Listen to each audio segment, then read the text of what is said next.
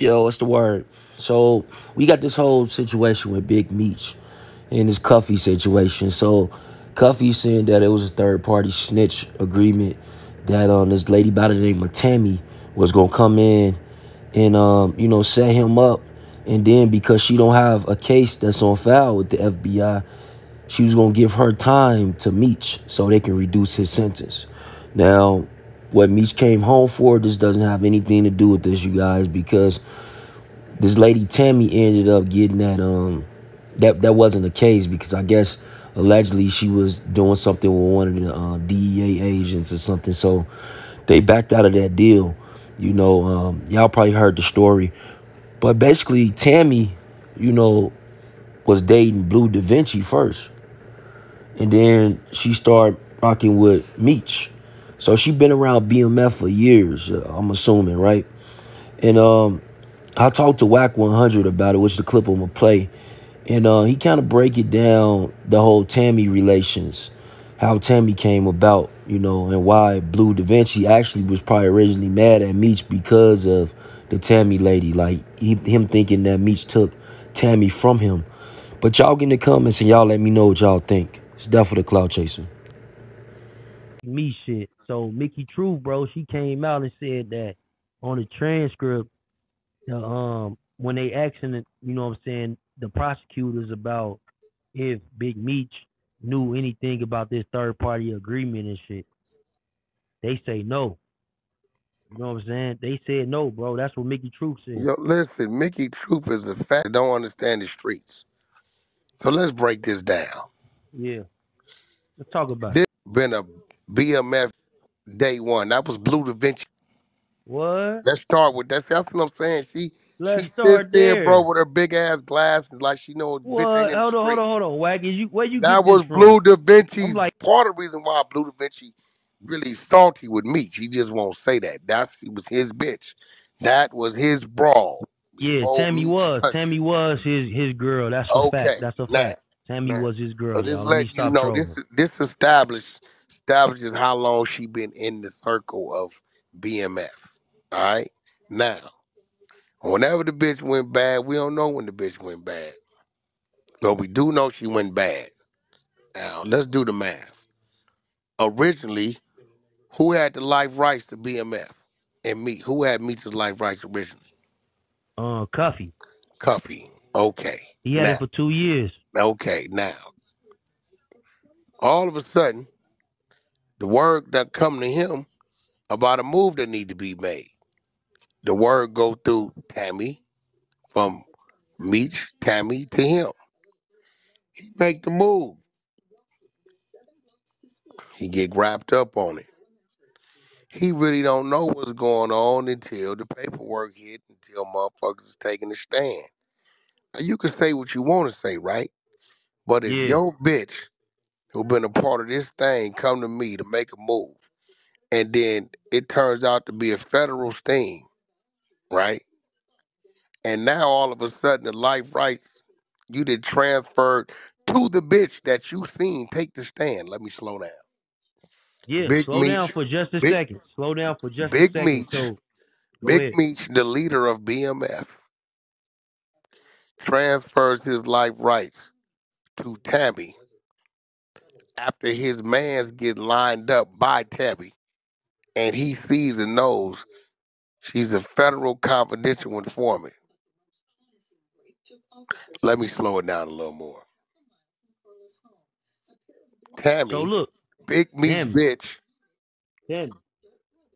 sends the message to Cuffy on the play. Cuffy get caught up in the play. But Wack, you forgot though. They was they was actually a- after the Mexican. She was Hold after on. the Mexican. Hold She on. was It, after the it, first. it don't, listen, listen, it don't matter. Tammy put Cuffy with the Mexican by means of this nigga.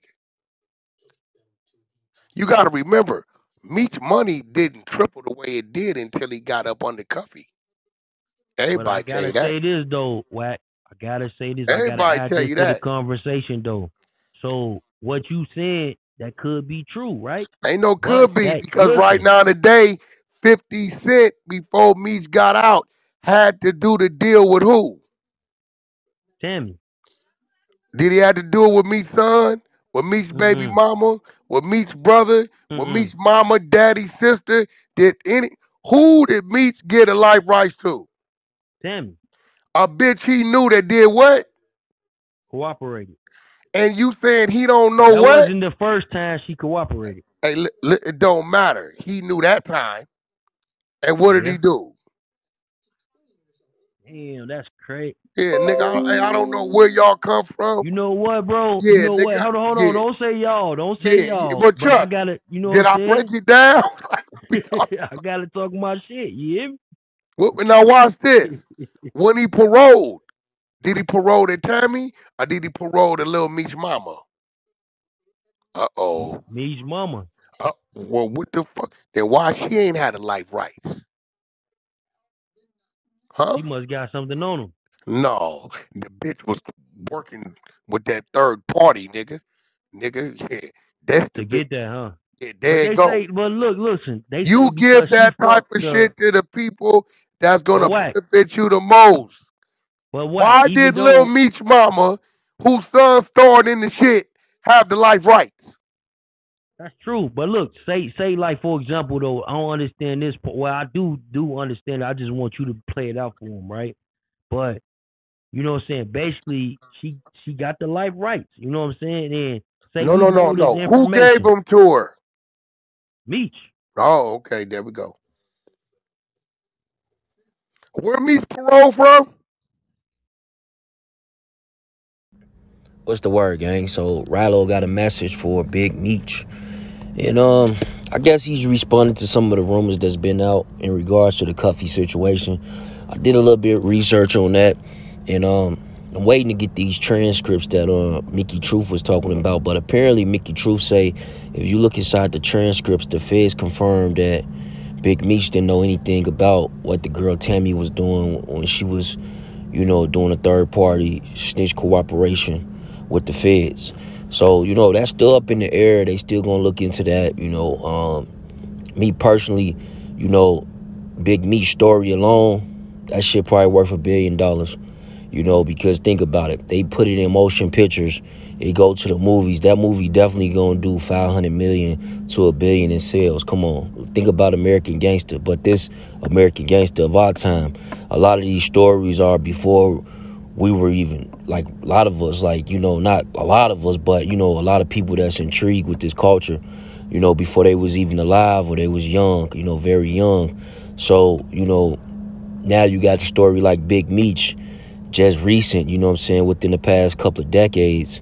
You know his story he made millions of dollars but um Ralo got this message. He say the streets is dead og get this legal money and stay out these f niggas way. Don't even worry about a F nigga. Say most of these so-called street dudes ain't even made a million out the dope game, but always talk street shit. Now, I want y'all to get in the comments and give me your opinion on that because that is something to say. You know, Ralo, he's on record for making millions out the dope game as well as, you know, being incarcerated for it, you know, coming home and still going back to his community trying to rebuild what he what he had started building before he got locked up which is credit to him because a lot of people once they get hit by the streets like far as go to jail or you know certain people might not be riding with them or people cooperating on them a lot of times they turn their back on the streets when they get out and they, they be like you know i ain't rocking with them guys. I ain't rocking with that neighborhood no more. They did me bogus. So i know it's different aspects of it but um Ralo definitely a stand-up dude for doing that. I think, you know, going back to his neighborhood and trying to build what he had started building before he got locked up. Now, Big Meech, you know, we haven't heard much about Big Meech. We seen the picture go viral yesterday, him getting a fresh cut by the barber, and the barber took a um, picture with him. You know, um, I think that um, Big Meech got a bright future ahead of him. That's for sure. You know, and uh, as far as the streets, he don't really need to even dabble into the streets. He can probably even become a motivational speaker and get 20, 30, 40, 50,000 a show. You know, just going around the country motivating people because I'll go see it. I'll go see what he talking about because whether you come from the streets or you know somebody close to you that was in the streets, you know, a lot of people can relate to it, especially here in America, you know, because um, being brown, black, you know, this this this type of stuff just comes with it. You know what I'm saying? It becomes a lifestyle. It's a way to get about the streets. But uh, Big Meech, salute to him. He's home. Um, right now, I think he's spending time with family. You know, that's probably what it is. Spending a lot of time with family, just adjusting. Remember, iPhone didn't even exist. You know what I'm saying? And back then, shit, we had like what MySpace. We got all these social media platforms now.